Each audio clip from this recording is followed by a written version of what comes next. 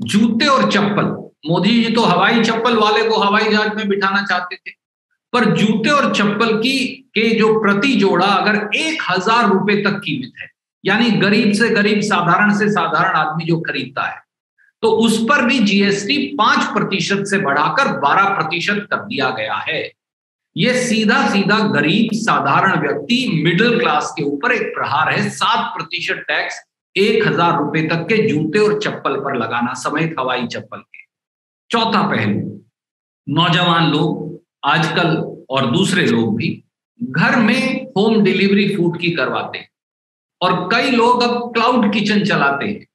तो food delivery सेवाओं और रेस्टोरेंट सर्विस के तहत आने वाले क्लाउड किचन पर अब पाँच प्रतिशत जीएसटी लगा दिया गया है।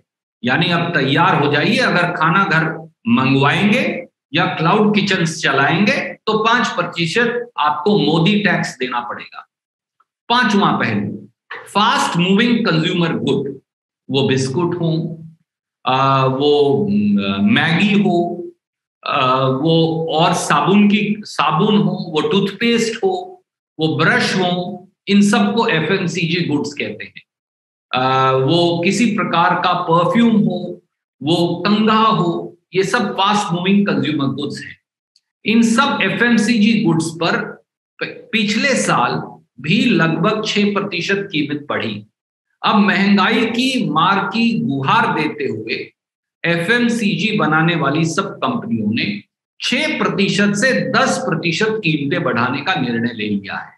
वो डाबर हो, वो पार्ले हो, वो ब्रिटानिया हो, वो मेरिको हो, वो मैगी हो या दूसरी कंपनियाँ हो। यहाँ सब बिस्कुट से लेकर मैगी से लेकर सबके दाम बढ़ जाएँगे।